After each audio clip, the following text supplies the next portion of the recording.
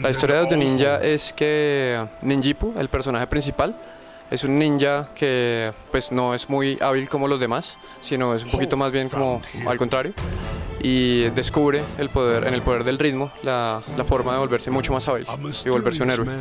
Entonces, pues a través de un, un regalo que le da a una persona que viene del futuro, que son unos audífonos y ahí a partir de ahí descubre el, el poder del ritmo de la música.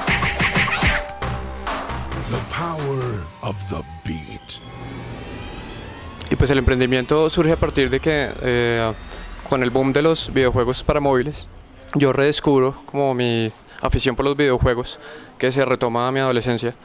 Eh, pero vuelvo a sentir como esa misma pasión por los videojuegos. Entonces, en un momento en el que estoy trabajando como desarrollador en una empresa que hace aplicaciones para web, eh, retirarme y empezar a, eh, pues el, el, emprendimiento de los videojuegos. Entonces ahí comienza Audio Ninja.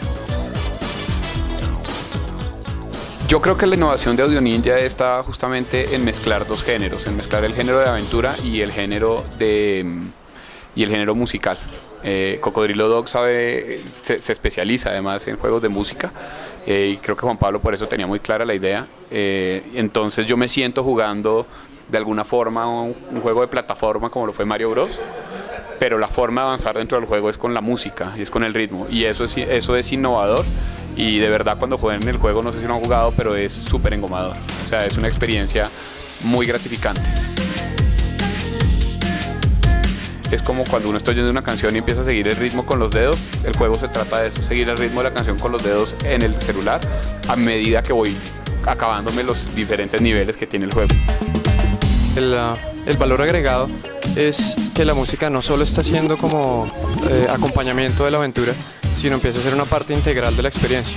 Es decir, la, las personas se conectan con la, con la canción y con la acción al mismo tiempo.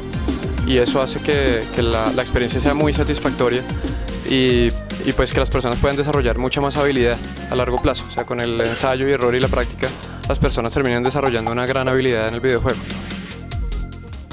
Un hermano de Juan Pablo trabaja con nosotros y él nos dijo, oye, mi hermano tiene una idea de juego chévere, ¿por qué no lo mira?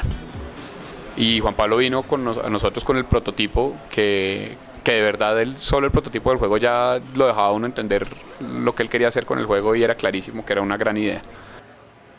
Van a haber dos versiones, una versión HD para iPad que va a valer 1.99 y va a haber una versión para iPhone que vale un dólar.